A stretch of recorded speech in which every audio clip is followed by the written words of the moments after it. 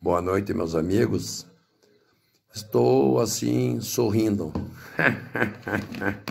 São tantas emoções. Acabei de assistir a preliminar entre Bragantino e Curitiba Futebol Clube hoje e fiquei impressionado com o que o comentarista da Rede Globo de televisão e adjacências Sport TV, Premier, etc., falou que o senhor Morigno poupou jogadores hoje para jogar o, atleta, o clássico Atletiba no domingo contra o Atlético Paranaense, como se fosse facílimo dar uma goleada no Atlético no domingo. Ora, tenha vergonha na cara, seu Paulo Vinícius Coelho. E se o Murigno fez isso, ele que tenha mais vergonha na cara ainda, porque onde já se viu um técnico de futebol falar isso, que poupou os jogadores para jogar o clássico de domingo. Então, já está morrendo de medo.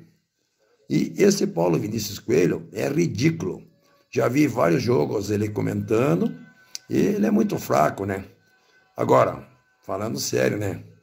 Brincadeira, né? Ora, se o Atlético perdeu o clássico de domingo, é porque quer ajudar os coitados, né? Como sempre já aconteceu. Vamos ver agora o melhor jogo da rodada, o jogo mais importante que é Atlético e Corinthians. Coxa é coxa, deixamos de lado. O Walter já comeu cinco coxinhas e nós comemos, continuamos comendo coxinha por aí, né?